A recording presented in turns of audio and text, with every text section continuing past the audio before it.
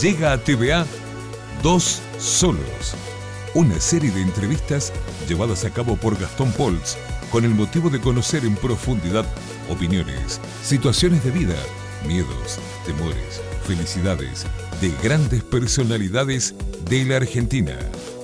Dos Solos por TVA. Mucho para ver.